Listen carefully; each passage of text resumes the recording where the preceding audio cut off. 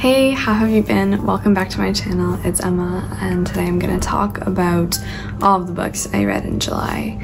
I read a lot of five-star books in July, which is so unusual for me. I just finally feel like I'm finally getting into books that I know I'll love. I feel like I'm finding the genres that I love. I feel like I found my place within the world of literature where I know I'm gonna find books that I love, which is something I would like to construct a whole video about and talk about how my reading tastes have changed and how I find books that I know I'm gonna love and what my favorite genres really, really are now because it's so interesting that it has changed so drastically in what appears to be a very short amount of time. But that being said, I have a lot of books to talk about.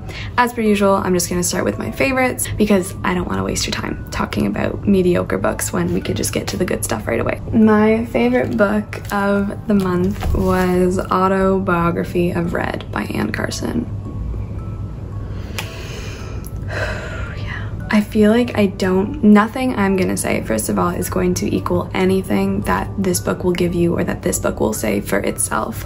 Um, I was blown away. It's so insane to me to think that I exist as a human alongside other humans who are able to articulate these thoughts, write down this language that has literally never been used before, continually make something new and unique and mind blowing. Anne Carson is a gosh darn genius. Um, this was phenomenal. So, Autobiography of Red is a novel in verse.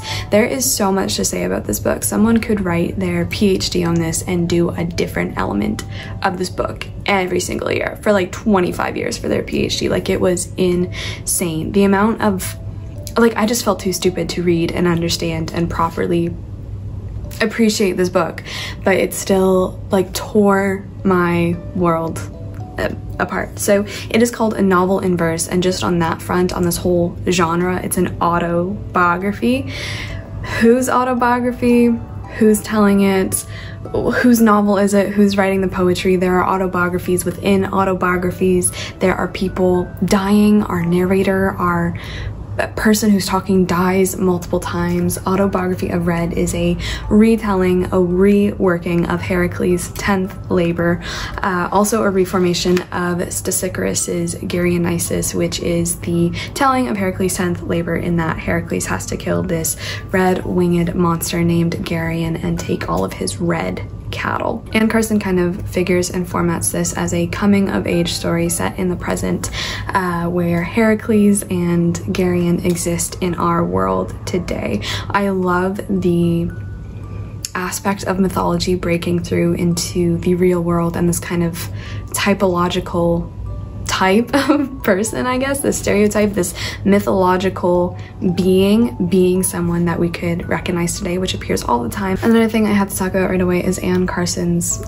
language. Um, I've never seen anything like it. Like, it is just I I just wish language could exist like it does in this book for me every single second of every single day because what she does with it, the way that she uses language, what she writes, this releasing of being that she talks about a little bit in the preface, which I've mentioned before, is just it feels like you're suddenly breathing something other than oxygen. I also have to thank Wren from Rebel Reads for uh, gifting me and sending me this book uh, because it was, this is one of the most important books and most beautiful books and best put together books I've ever read or seen in my whole entire life. It is a novel, it is an autobiography about love and heartbreak and growing up and violence um, and relationships and geography and Gertrude Stein and Greek mythology and every single thing ever. It is so complicated, so beautiful, so intricately woven and I know there's a sequel called Red Doc which I would love to get my hands on. There are just a billion and one things going going on in this very short book. Um, it's very interesting. We have appendices that come at the beginning of the novel. We have little uh, questions and semi essays and pieces of songs and fragments and poetry. Um, basically, to just describe this book, to take a line from the book to describe it, um, it kind of reads as if she has composed a substantial narrative poem, then ripped it to pieces and buried the pieces in a box with some song lyrics and lecture notes and scraps of meat. Yeah, I don't really want to say too much more about it just because I feel like I literally can't. Like if you just go into this book and read it, um, I think it should and will speak and scream for itself. And it's a book that I just want to read immediately again because there's so many things that I know I missed, so many things I didn't pick up on, and I can't stop screaming about Anne Carson. Everything uh, she touches turns to gold. Just beautiful, beautiful, five stars. Surprisingly, I had another five star read in the book of July, the month of July. Um, and I got to listen to this one via audiobook. It is a classic, or I guess some people call it a modern classic. I don't really care about those distinctions. This was just phenomenal. Phenomenal. Phenomenal? Phenomenal. it was great, guys. So this audiobook was actually narrated by the author and that book is Beloved by Toni Morrison. Um, this was crazy. This was so crazy. I was lucky enough to have the physical copy of this book that I found thrifted a few years ago. And if you can see, I made quite a lot of dog-eared notes at the top of the page just while listening along. Um, eventually, I would like to go back and read this a second time over to fully annotate it because that's um, kind of what I like to do is annotate a book when I'm reading it for the second time or um, some other time than the first time, which obviously didn't happen with the autobiography I read, but there was once again a trillion and one things going going on in Beloved. It is historical fiction, it is horror, literary horror, it is magical realism, um, and it is uh, exceptional. Toni Morrison's writing, I guess to start there, chronicles the lives of a whole bunch of different people in this novel. The novel opens up and we are following this woman named Sethe who has escaped from slavery and the novel opens as she is burying her young daughter named Beloved. We find out that Sethe has another daughter called Denver, and she and Denver live alone in this haunted house because the house is actually haunted by the spirits of Sethe's departed daughter beloved. This is near the end of the Civil War. Uh, she is trying to carve out this new life for herself and for her daughter, Denver. However, this is very quickly interrupted when a figure from Sethe's past named Paul D comes to the house to visit them, see what's going on with them, and essentially kind of rehashes and reopens the past that is never past for them. This is about the effects of slavery through generations of families and wives and daughters and women. It is about the generational effects and the generational trauma that slavery engenders.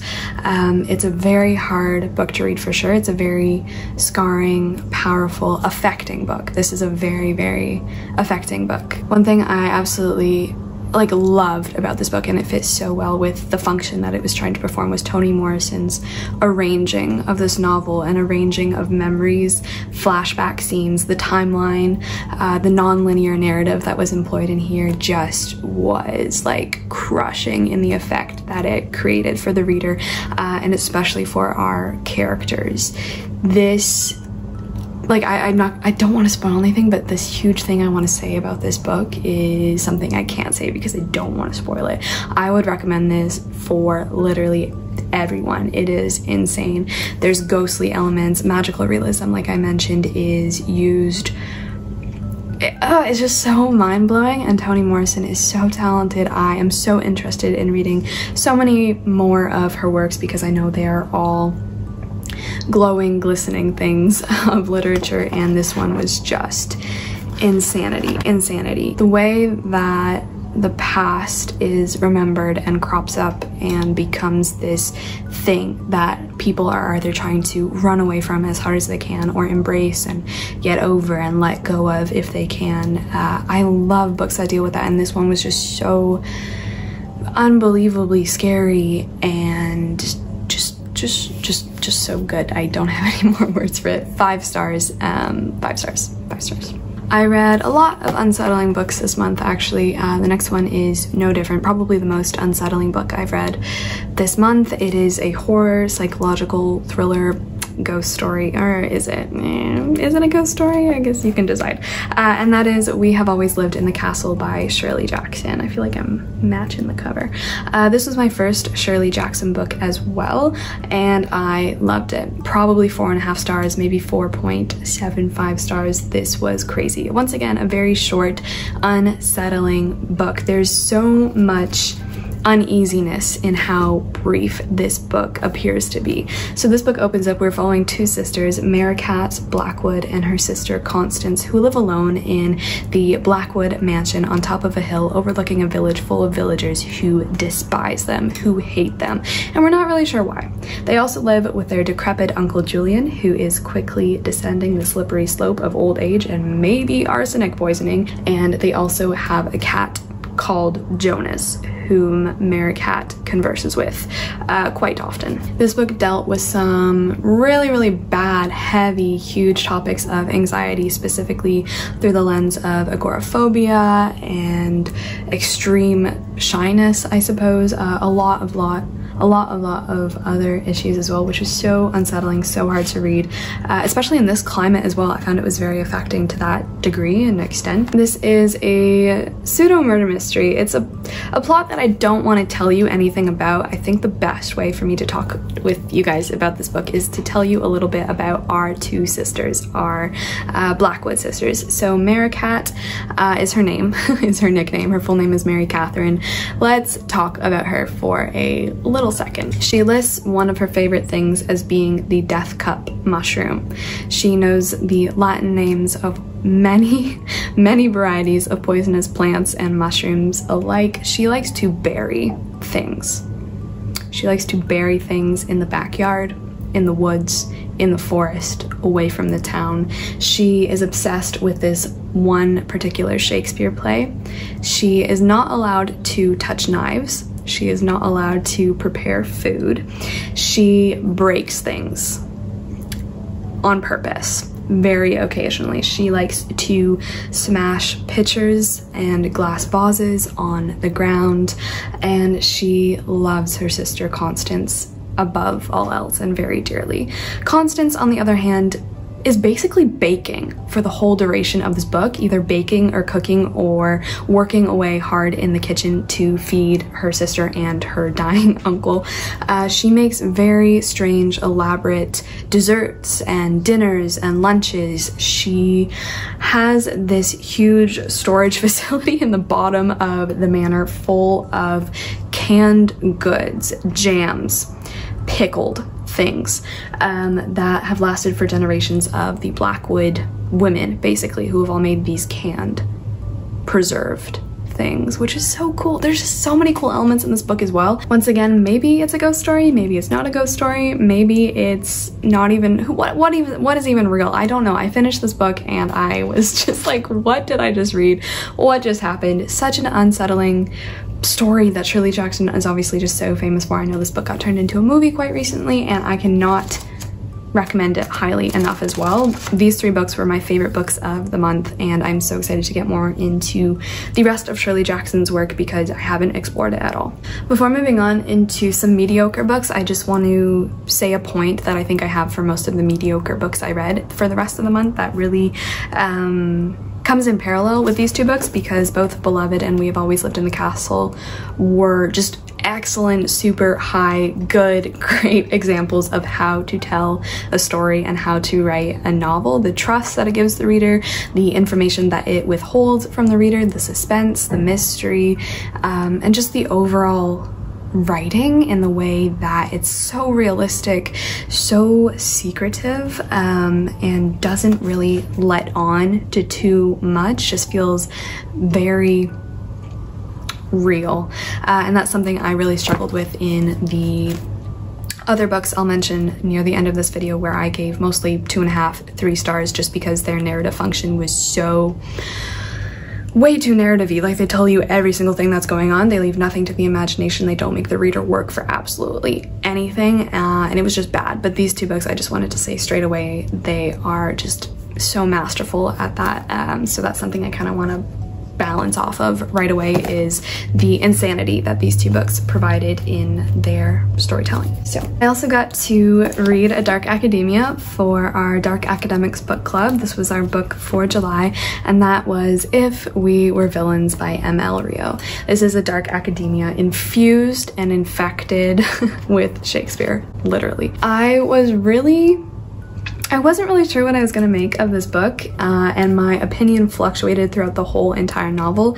At the end, though, I did decide to give this four stars. I don't know why I got so invested in the lives of the students that we follow in this book, but I just found myself getting so, so close to them and so um, enraged for them and so preoccupied with what their lives were doing and how the book would turn out and pan out and end ultimately. So uh, we are following a group of, I believe it is, oh my gosh. One thing I will say is that there's too many people in this book. I think six or seven pretty sure it's seven, uh, students who are all studying at Dellecher Classical Observatory. They are fourth year theater students specializing in Shakespeare. Once again, uh, obviously we have the dark academia trope of just being over the top, utterly pretentious, full of hubris, full of so much pride and arrogance, uh, and we have this whole straight line of Shakespeare running through, in some cases, just chopping people's heads off, invading people's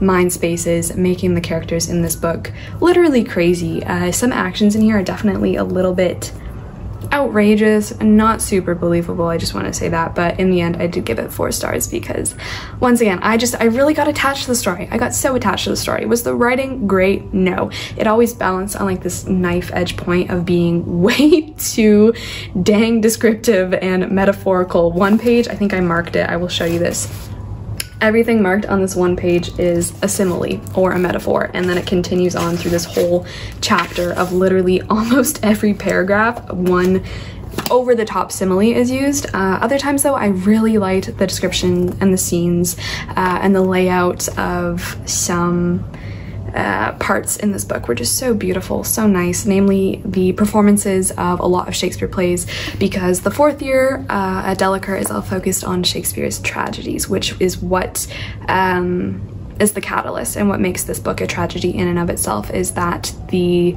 plays start performing their tragic elements in real life. So it is a murder mystery, it is a study on Shakespeare, it is dark academia for sure. I enjoyed this so much more than Ninth House. Uh, I think it might be one of my new favorite dark academia books.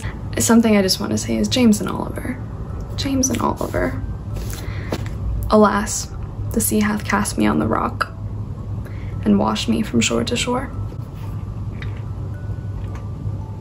I cried. I did cry. I don't cry at books very often. I think, I'm not sure if it was the book itself that made me cry. I think there was a lot going on in my life the week that I finished this book and the book was just the last straw on top and I bawled like a little baby for like an hour. We will of course be having a live show on If We Were Villains on my channel. I'm not sure of the date. It will be in the description box down below, I believe. Uh, I'm so excited to talk with you all about this and finally hear everyone's opinions, both those uh, of my co-hosts and of you guys because I know so many of you read This was such um, an asked for book for our book club and I'm so happy I finally got around to reading this. This was also funnily enough gifted to me by Carolyn for Christmas. Thank you once again. She's actually gifted me two of our Dark Academia book club books before we even knew that the Dark Academics book club was a thing which kind of just feels like it was meant to be in the first place. So that was If We Were Villains, four stars. Uh, James and Oliver. Okay, we're now going to move into some mediocre books that I read. I have one, two, three, four books that I gave three stars to. Two are sci-fi, one is a thriller, and the other one is a fantasy. So let's just start with the fantasy. I gave three stars to Jade City by Fonda Lee. If I'm being honest, maybe 2.75 stars. This was a mega fantasy, an urban fantasy novel uh, that I really had high hopes for because the synopsis sounded so interesting and I was really hooked for about the first like 200 pages, I think. But the main pitfall of this novel for me and what you'll probably hear for the rest of the novels I'll talk about in a second was that it became so boring and specifically so boring because of the way the story was being told. Unfortunately, Fonda Lee, I, this is a narrative choice that a lot of authors make, a lot of people make, a lot of people like it, but I cannot stand when a book's voice is just all tell and no show. Uh, what I mean by that is basically describing every single aspect of a scene that is going on, explaining every single aspect of why a certain decision or choice is being made. In this case, Jade City is a very politically dense uh, I believe it's described as like a gangster urban fantasy set in the mythical island, not real island of Kekon. Uh, I really enjoyed the concept. Basically, we have these really powerful families who control um, and use Jade, which gives them special powers, basically just boosts their overall human capabilities, I'd like to say. Uh, and then we obviously have warring clans, we have a lot of political drama, there's romance, it's it feels like a very realistically populated place, and I love that. I love the idea. But like I said, what ruined it for me was just the storytelling decisions. Like it became so boring, it became so predictable. This book took forever for anything to happen, which is a complaint I'll have for another book too in a second. I just really can't stand, and I don't really see any real reason for an author to tell you every single thing about why something is happening, leaving no room for the reader to have any autonomy of their own, to insert themselves at all, to guess at anything, to imagine what the life is like in their novel.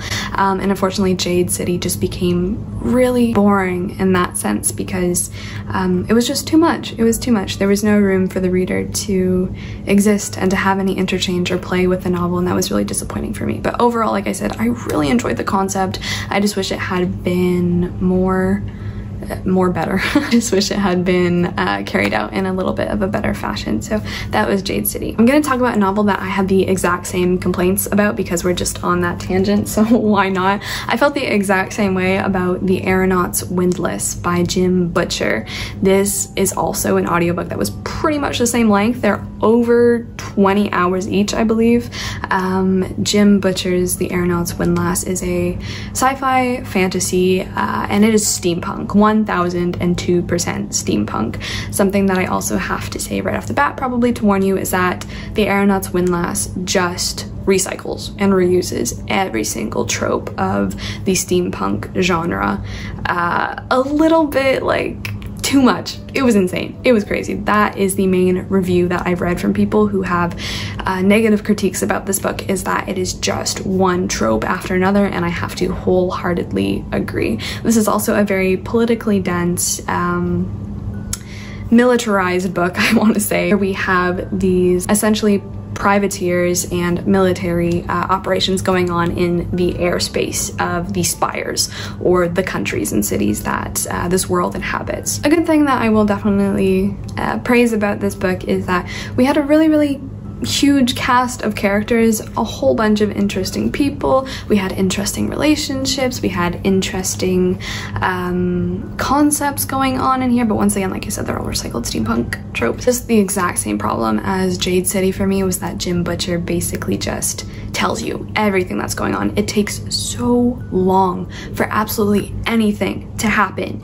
in the Aeronaut's Windlass. One fight scene takes like 75 pages of description. Things started to happen in the Aeronaut's Windlass in a very circular fashion. We had these weird adventures that wouldn't go anywhere. They would just lead you back to the start and then you'd have to go somewhere else. It just felt like this like really bad D&D campaign where the person who is orchestrating it has no idea idea what they're doing. Uh, and they just lead you on this very boring, slow moving, heavily descriptive, uh, mediocre adventure. And I was really disappointed because I love, I love, I love, I love steampunk. But the Aeronaut's Windlass was not it. Both Jade City and Aeronauts I probably gave 2.7 three stars maybe but um, I will say the Aeronaut's Windlass was mildly entertaining for a little bit until it just got way too.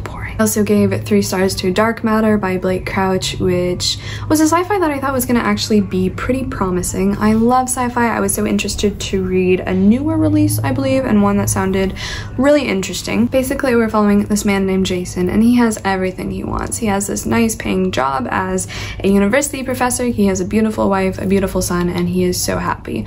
Unfortunately, one night he goes out to get drinks with his friend at a bar, and as he is coming back home, he gets, first of all, he gets smashed by a taxi. And then to make matters worse, he gets abducted. A man in a mask brings him to this abandoned warehouse and Jason is frantically asking, who the heck are you? What do you want with me? Do you want my money? And the guy's like, no, no, it's too crazy. You wouldn't believe me if I told you.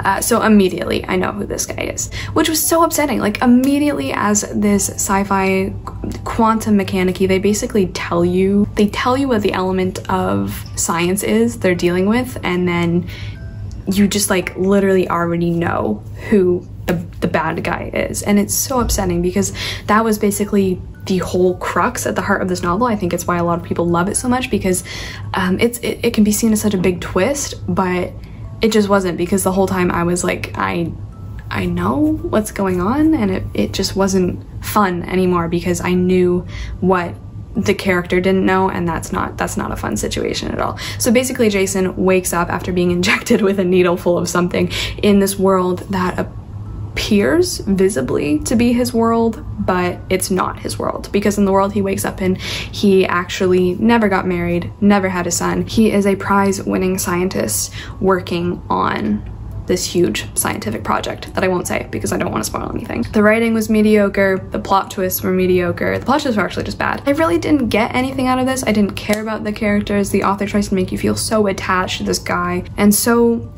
sympathetic for his family and his son and his life. However, I just, I really didn't care. There were no stakes for me. I didn't care what happened to this guy. The ending felt just such a letdown, such a letdown. I did give it a generous three stars, but realistically, another 2.75. So, actually, if anyone has read Recursion by Blake Crouch, which I think is his newer book, actually, um, let me know if it's any better or if it was any good at all because um, I do love sci-fi, I just didn't get along with dark matter, which is sad. So, next book I read was a thriller that I almost DNF'd like eight times before finally just deciding to finish it and actually really enjoying it more than I thought I would. And that was You by Carolyn Kepnes. Yeah. First of all, I think if I was physically reading this book myself and not listening along with the audiobook, I would have just put it down after like page three. But I think because the audiobook narrator's performance, I just really, like really, really have to compliment this guy because he like committed 5,000%. Uh, and the experience of listening to this second person narrative, psychological horror, not really horror, thriller book was actually really unsettling and what made the experience um, just better and made me not put it down because it was really uh, creepy and unsettling. If you don't know, You is now like a pretty popular Netflix show where we're following our main character named Joe Goldberg. He works at a bookstore. He has a really bad childhood past. Uh, and one day when this girl named Guinevere Beck walks into the bookshop, um, they hit it off and we think this encounter is just a nice bookstore encounter. Obviously, we all have dreams of meeting someone who works at a bookstore and falling in love because then they can give us discount prices on books. But we quickly find out that Joe is this really messed up stalker who starts to stalk Beck, steals her phone, you know the drill. What was so interesting for me actually, and I thought was really, really well done, is that like the juxtaposition of Joe alongside every other person in this book made you root for Joe and made you want him to succeed. He became like your favorite character, which you know in your own mind is so messed up and so wrong, but the way that it's told, because obviously it's him talking to Beck for this whole thing in his own inner monologue, was so well done. The way that he arranges a situation, the way that he gaslights the reader is actually insane. The way that he like twists a situation around and then maybe later you find out the situation wasn't actually that way but it's just how he is perceiving it in his own mind the way that he interprets people the way that he thinks about people that Beck interacts with and her friends and family and everyone around her is actually crazy I love like the commentary about the relationship between Beck and Joe because every time that Beck somehow encounters Joe somewhere, she'll joke about, oh, I hope you don't think I'm a stalker. I hope you don't think I'm following you. I'm sorry if I appear so creepy. When we actually know that Joe is like a legitimate stalker is it was just it was really good in that sense obviously there was so much in this book first of all i feel like this book was way too long you could have cut so much out um, and there were other problems i had with it but overall I would give it like a legitimate three stars, not like a 2.75 because there were a lot of really cool, well done aspects to this thriller, I think. So that was you. All right, and we're gonna finish the month off with two nonfiction books that I read. The first nonfiction book that I read in July was Happiness by Thich Nhat Hanh. This is a little uh, audiobook that I listened to all about uh, mindfulness and mindfulness as the way to happiness, or I guess happiness as the way in and of itself, which is interesting. Uh, I'm not going to talk too much about it. It was really great. I love all of Thich Nhat Hanh's work that I read. I've read a lot of his work by now. Um, and once again, I just love it, love it. The last book that I read in July was called The Lost City of the Monkey God by Douglas Preston. This is a nonfiction all about uh, an ancient city in Honduras called La Ciudad Blanca, or the White City, uh, and about the very recent search, actually, and discovery of the city and other ancient ruins in and of themselves lost in the Mosquitia area of Honduras, what is basically an uninhabitable and what has been an untouched geographic location for centuries. I went into this book and I picked it up because I thought it was going to be about the culture and the civilization and the city itself, like the lost city that was discovered. And obviously, there's really problematic terms with calling something a lost city. This book did actually deal with a lot of problems of archaeology uh, and attributed a small section of this book to talking about the language that archaeology em employs um, and the history of archaeology. So those were the reasons that I went into this book, but it was basically just this journalist, Douglas Preston, because he was actually on the expedition to find the ruins of this lost city. It was basically just his like journal logs. Um, I know he's trying to make it interesting, and it was a really interesting told nonfiction, but in the end, this was a mess. Like the way it was arranged, what it decided to encompass in its um, book format was a mess. Like he just went on so many avoidable tangents that were not necessary at all and like took away from what he was trying to discuss, what his main point was, which obviously should be the white city and Honduras and this discovery. This guy talks about snakes for a decidedly long time. I gave it three stars because I did learn some things about it and it was really interesting seeing how technology is used today, specifically like LiDAR, radar, and um, NASA and everything like that to discover these uh, buried places and grown over places and in this case places where the forest has just over canopied and hidden and protected um, places of the world where we haven't tread yet. But on the whole, like I said, this guy actually just went on so many tangents. Like if I handed in an essay and it had as many tangents as this guy went on, I would get so many sassy comments from a professor. Like it was bad. I would really be interested in reading like a properly constructed book that's solely focused on the city um, and the background and the history because like I said, it didn't really delve into that, even though I know Douglas Preston is only a journalist and he's not really equipped to educate people on that, but I just thought that's what this book was going to be about, and it wasn't, and I was wrong. If you want one man's journal talking about his insane fear of snakes for like 12 weeks, this is the book for you. So those are all the books I read in the month of July. Um, yeah, what did you guys read? How are you? How have you been doing? What was your favorite book of the month? You guys know I always like to know that because um, oh, just, just bring her back for a second. Bring her back for a second. This was so good. Other than that, thank you so much for watching and I will see you so soon in my next video.